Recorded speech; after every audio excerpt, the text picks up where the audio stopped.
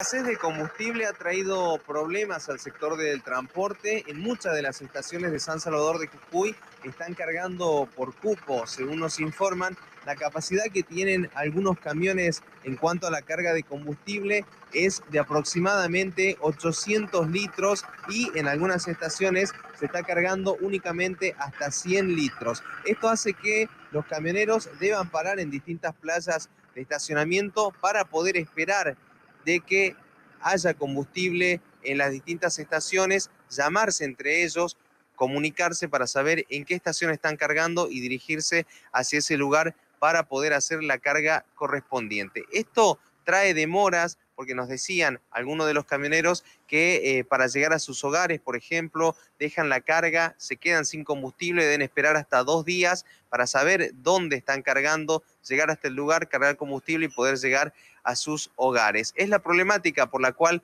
está atravesando el sector del transporte en cuanto a la escasez de combustible, considerando que San Salvador de Jujuy y también nuestra provincia está en zona roja en cuanto a la escasez del gasoil. Eh, trae contratiempo, a veces para llegar, a veces para volver a nuestras casas.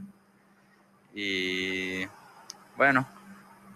Eh, ¿Ustedes se están cargando por cupo en algunas estaciones? Sí, a veces por, por cupo, a veces tenemos que andar por varias estaciones, así. ¿Se comunican entre ustedes para saber dónde hay combustible? Sí, sí, a veces sí.